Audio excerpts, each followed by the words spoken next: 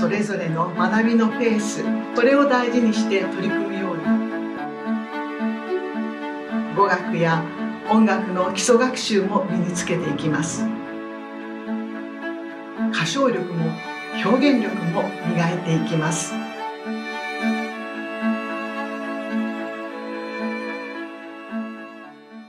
皆さん声楽専攻にようこそいらっしゃいました。私は声楽主任を務めます山崎明美と申します。ここでは声楽専攻の学びについてお話ししましょう。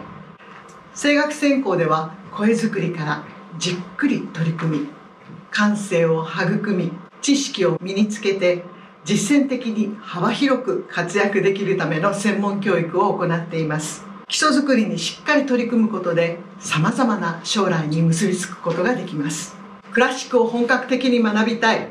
演奏家になりたい。歌手になりたい。指導者になりたい。など皆さんの夢は広がっていることでしょう。歌うことが好きだから。それを将来に生かしたい。皆さんのその思いをしっかり受け止め土台を学びつつ個性を伸ばせるように声楽教員全員が思いを一つにして指導に当たっています。実技レッスンは毎週行われます。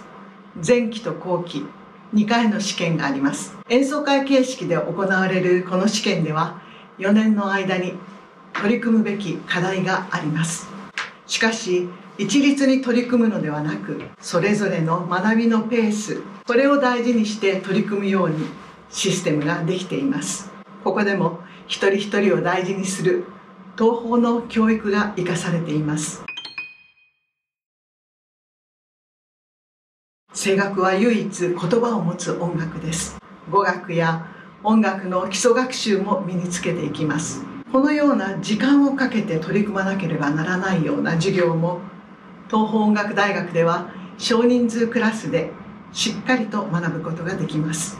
声楽専攻には朗読法という授業があります。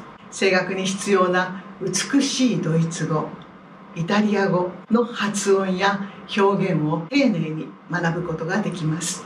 そしてもう一つ声楽のおすすめの授業ですがこれはオペラ研究です。指揮者演出家をはじめオペラ制作に関わるピアニストそして経験豊富な先生方声楽教員がチームとなって指導にあたります。助演も加わりさまざまな演目が一人一人の適性を引き出し歌唱力も表現力も磨いていきます。この授業の集大成はあのグランツザールで衣装をつけそして演技をしながら歌う。まるで本番の公演さながらの実施になります。このオペラ研究は3年時4年時の2年間の履修になります。世界の舞台へ歩みを進めた先輩たちもこの授業で学びました。その他にも2週間のウィーン研修グランツザールでの学内演奏そしてオーケストラとの夢の共演をするトライアルコンサートまたソロの定期演奏会魅力的なプログラムが多くあります。ボランティアコンサートとして地域に貢献する機会も設けられています。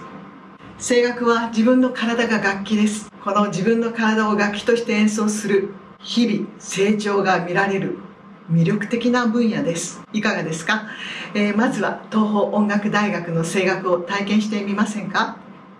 どうぞお気軽にお問い合わせください。